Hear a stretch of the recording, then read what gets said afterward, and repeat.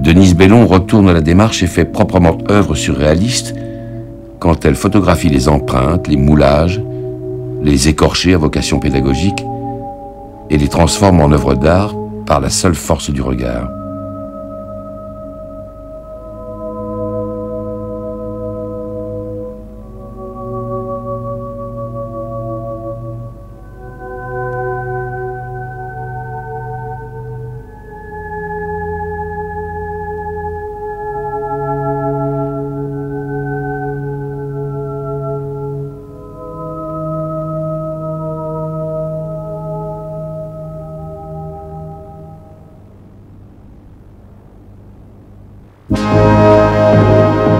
Les appelle les gueules cassées. L'expression survivra au dernier d'entre eux. Rescapés de la Grande Guerre, dont un facteur fou a sculpté le visage.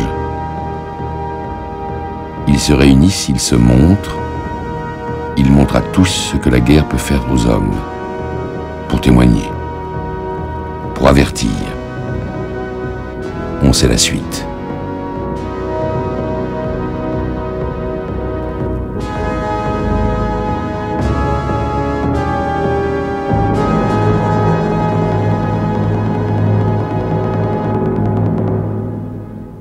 Présence de M. Marx Dormois, le pavillon de l'Allemagne est inauguré en présence de M. Paul Bastide par le docteur Chartres, ministre de l'économie durable. En mettant face à face les pavillons des deux nations qui vont s'affronter, les architectes voient plus loin que les politiques. Étrange chose que ces expositions universelles qui précèdent les catastrophes.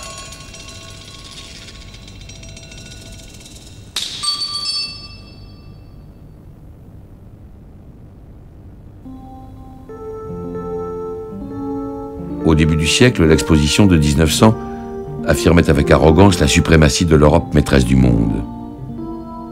Un peu plus tard, l'Europe allait programmer son suicide. Il semble que les nations au bord des guerres tiennent à passer en revue leurs richesses comme des avares au bord de l'agonie qui veulent encore une fois compter leurs trésors. Mais en 1937, les trésors n'impressionnent plus guère. La paix sonne faux. La fête sonne creux. La belle lumière de 36 commence à décliner. Les simulacres de l'exposition, une fois démolis, laisseront le champ libre aux exterminateurs.